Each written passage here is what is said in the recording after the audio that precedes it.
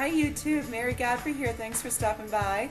I'm really excited to share with you the Baylight Institute for Creative Arts is moving forward. We're launching in August, and in the meantime, we're starting a second Friday open mic as a partnership with South Mountain Community Church, and that's at 7th Street in Southern. In the meantime, be sure to check out the website www.beaconnow.com, and we're also on YouTube.